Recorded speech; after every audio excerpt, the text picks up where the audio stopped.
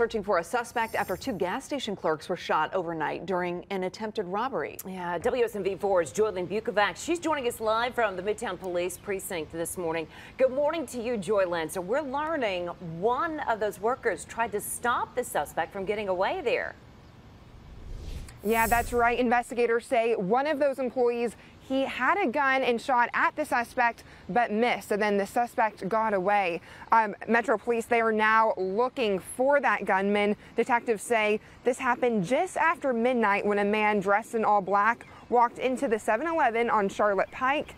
An employee came out from the back and then was shot. Another employee who was in the cooler at the time noticed what all was going on. Police say that employee was armed and then shot at the suspect but missed. The suspect shot back and hit the employee. Then the suspect ran off. Now, both of those employees were taken to the hospital. I'm told they are expected to survive. Right now, Metro Police, they're going through surveillance video, trying to figure out exactly what led up to the shooting. If you have any information, investigators want to hear from you. Reporting live in Nashville, I'm Joylyn Bukovac, WSMV4.